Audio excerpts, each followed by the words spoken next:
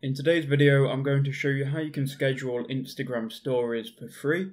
So if this video does help you out, please do leave a like and subscribe and we'll jump straight into the video. It's a fairly simple process and I'll show you how you can do it in under three minutes. So I'm going to leave a link in the description below, click on that and it's going to take you to this website here called Storrito.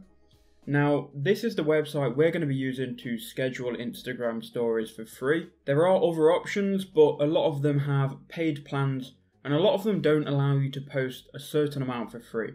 On Storrito, you can post 10 stories per month uh, completely for free without paying or without even adding a credit card or anything like that. So click on try it for free and sign up for your account. I'm going to log in and I'll show you inside the app and how we can use it.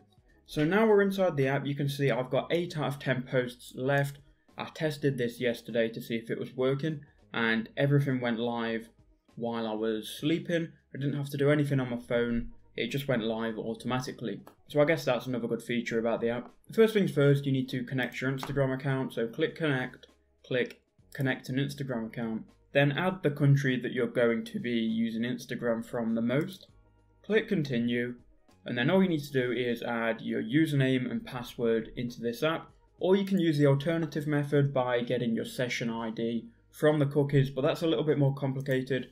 I'm just going to log in using the normal method. Okay, so now my Instagram has been added to Storrito. We can now, well, first we can show my story that's already on there by going to my Instagram account. You can see I've already got a story on there, and this is what I actually scheduled last night.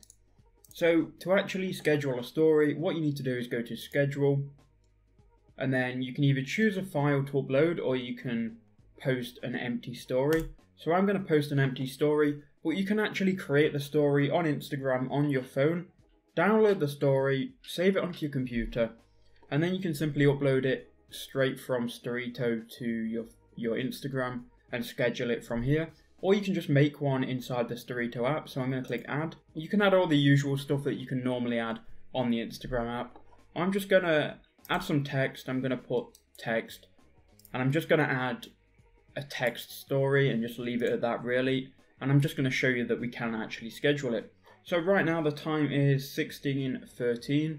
I'm going to save this and you can see it's now being saved. We can now click on this.